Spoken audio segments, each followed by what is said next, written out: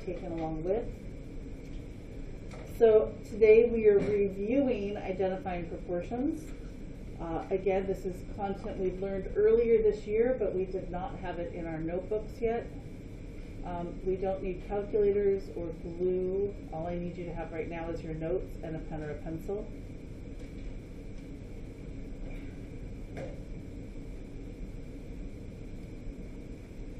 We're going to read through the definition.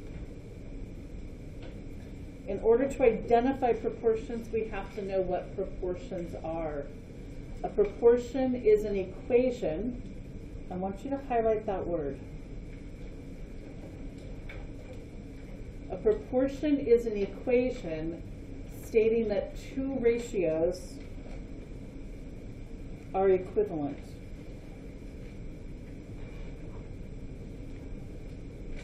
Two quantities that form a proportion are proportional. This is going to look very much like equivalent fractions did when you all first started learning them. The difference is proportions are about ratios, and ratios are comparing two quantities. But things that were true about equivalent fractions are also true about ratios when they are in proportion to each other. This is what a proportion looks like. It looks like two fractions or ratios equal to each other. This equal sign is here because it is an equation.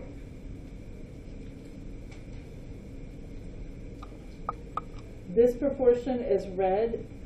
3 is to 5 as 6 is to 10.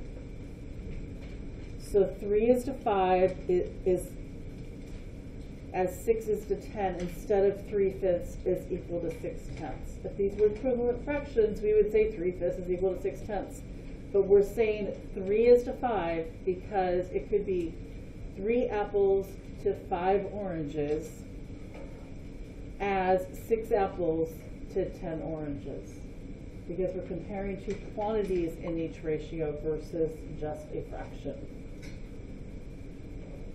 So to determine whether two ratios form a proportion, we're going to do a couple of examples.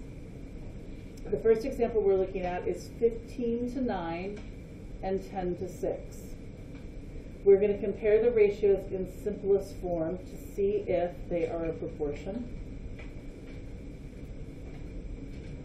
We have 15 over 9, and we've taken 15 and 9 and divided them by 3 because 3 is a common factor of both 15 and 9. And we end up with 5 over 3.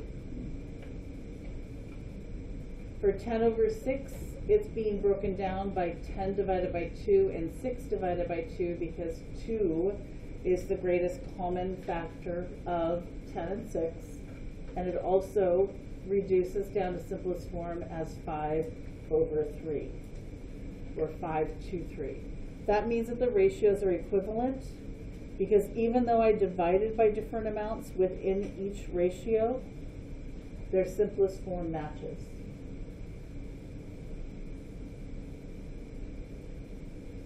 This one is 4 to 6 and 8 to 20.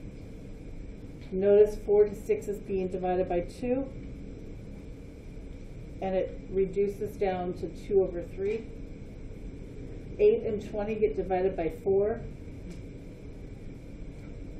And that reduces down to 2 over 5. That means that they are not equivalent because they don't match.